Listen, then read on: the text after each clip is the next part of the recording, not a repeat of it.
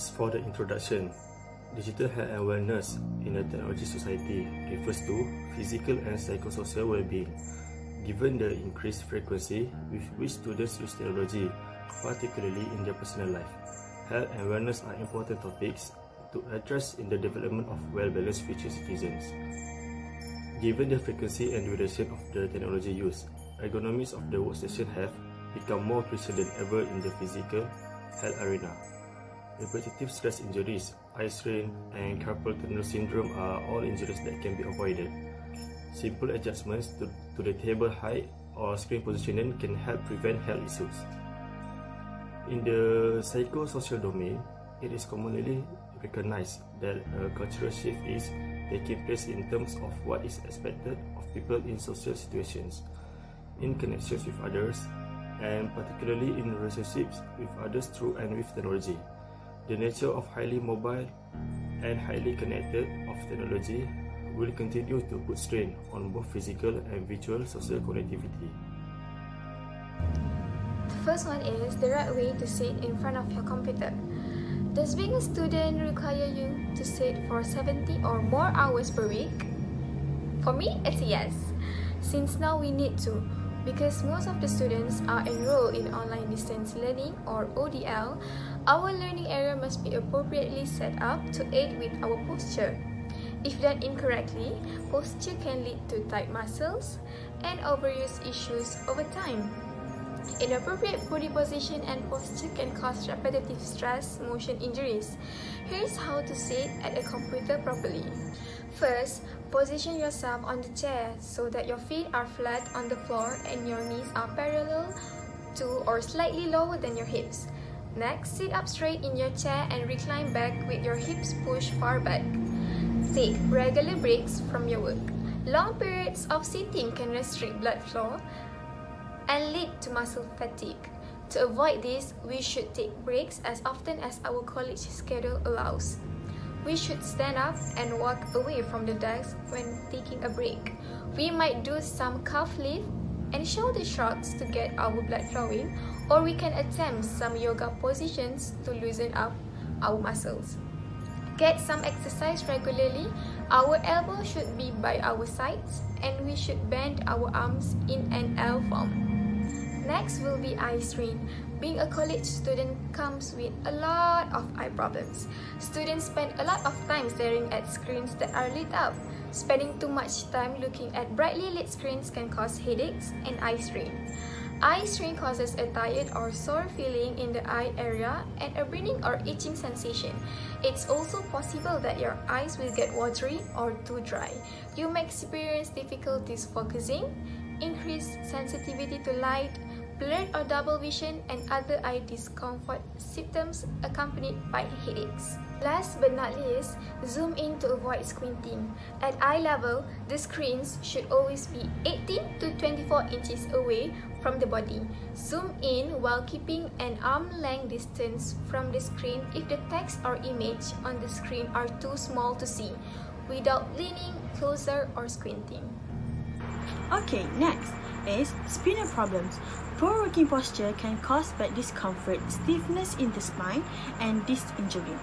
The disc between the vertebrae of the spine soften as a result of regular motions, allowing blood and nutrients to flow freely. Sitting for an extended period of time causes this disc to become unstable and thick, causing collagen to develop on the tendons and ligaments. Here is how to avoid spinal problems. First tip is elbow measure. First, begin by sitting comfortably as close as possible to your desk so that your upper arms are parallel to your spine. Rest your hands on your work such as desktop or computer board. Number 2. Tight measure. Check that you can easily slide your fingers under your thigh at the leading edge of the chair. If it's too tight, you need to prop your feet up with an adjustable footrest. If you are unusually tall and there is more than a finger width between your thigh and the chair, you need to raise the desk or work surface so that you can raise the height of your chair. Number 3.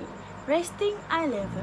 Close your eyes while sitting comfortably with your head facing forward. Slowly open your eyes. Your gaze should be aimed at the center of your computer screen. If your computer screen is higher or lower than your gaze, you need to either raise or lower it to reduce strain on the upper spine. The last tip is armrest. Adjust the armrest of the chair so that it just slightly lifts your arms at the shoulders. Use an armrest on your chair is important to take some of the strain off your upper spine and shoulders, and it should make you less likely to slouch forward in your chair. Number 4. Reduce brain function. Sitting for too long will reduce our brain function. This unhealthy condition can be happen because of our brain is not getting enough blood and oxygen supply. Our brain needs a sufficient amount of oxygen and blood in order to release some of the several chemical substances for our body. Sitting for too long will make our brain didn't get this supply and the function will rapidly drop. Here are the tips for stay healthy while sitting in front of your computer. Number 1. Keep your laptop in the right position. If you are looking too far down from your line of sight, you might experience back and neck pain. Alternatively, if you are gazing too upwards, you will experience dry eyes. Hence, it's better to use a computer stand or a stack of books to set the position of your laptop in a manner that you don't have to look down at the angle of 10 minus degrees max. Number 2. Keep yourself hydrated. Quite often thirst is mistaken for hunger which makes us binge eat. Even sleepiness is sometimes caused by dehydration. Thus, it's very important to keep yourself hydrated in order to maintain good health. Also, drinking more water will force you to get up more often from your desk to refill your water bottle. Last but not least, blink more. When you sit in front of your computer, you should blink more often. Since staring at the screen means you blink three times less as you do normally, you need to make sure to blink more often. Make a concerted effort to open and close your eyes. Also, try to follow the 20-20-20 rule while looking at the screen. That means in every 20 minutes, gaze at the point that is 20 feet away for 20 seconds.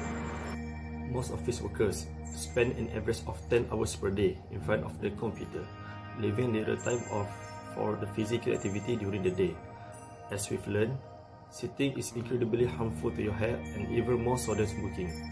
As some suggest, many of us suffer from health problems that we blame on genetic traits, a poor diet, or even the environment. It is also because of our everyday habits contribute significantly to our health problems. Here are some of the effects to your organ as you sit in front of the computer for too long. Uh, first of all, cancer. The danger of a lung, colon, breast, uterine, and endometrial tumors is perhaps the most frightening side consequences of long sitting.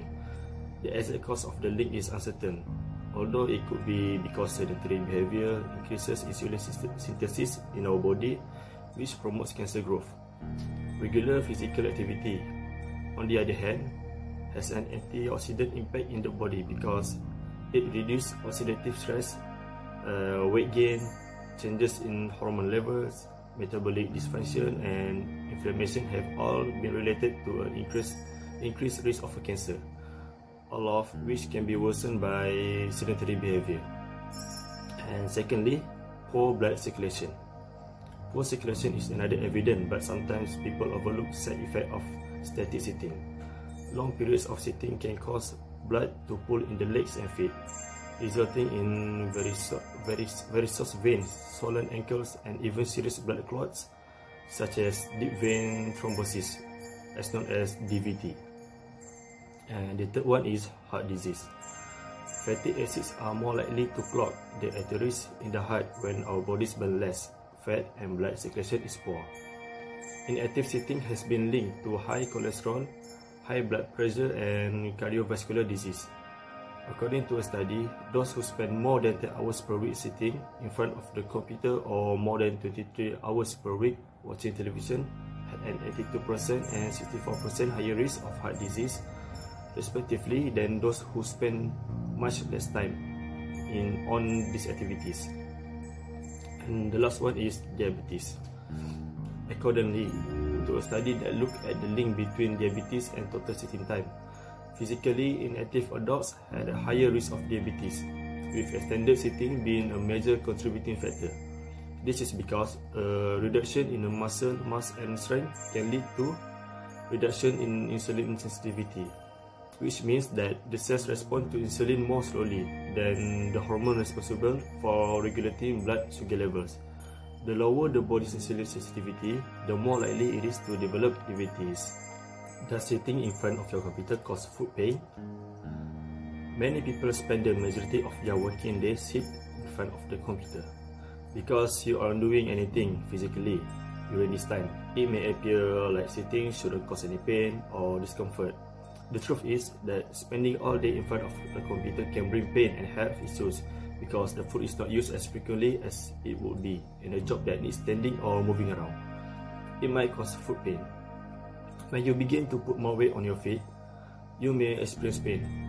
You may discover that walking long distances without stopping is tough for you. Your feet will require time to transition from lengthy periods of non-weight bearing inactivity to being suddenly exposed to the polar opposite. These are the type of foot pain. Foot discomfort uh, can take many different forms. However, the following are the most prevalent complaints first one is fatigue, and the second one heel pain, big toe pain, sore aches, sore arcs, muscle cramps, and swollen feet and or and ankles. Okay, for the conclusion, um, it is critical that we take care of our health, especially in this pandemic situation. Uh, because of this pandemic situation, our students must attend the classes online, which means they spend almost half of the day in front of their computer. Uh, as a result, uh, they doesn't have time to do exercise or do anything that will allow the body and mind to relax.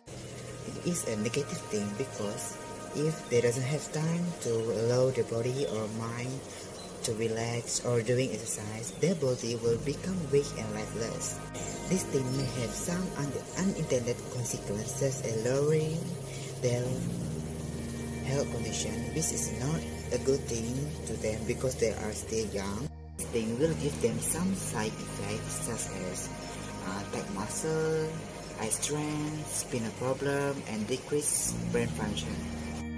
Some people just doesn't care about their health because to them, if they can finish their work on time, they doesn't even care about their unhealthy work style that can harm their health status. Online classes also can cause mental illness. Uh, this can happen because not all people have the same environment and condition, and it, it can cause some misunderstanding. Because of the misunderstanding, uh, people may become stressed, which is bad because stress can lead to the depression.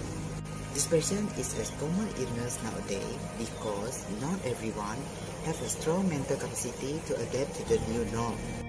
Plus, I hope people are aware about their health status and visit the hospital on a regular basis to maintain their health condition. And thank you.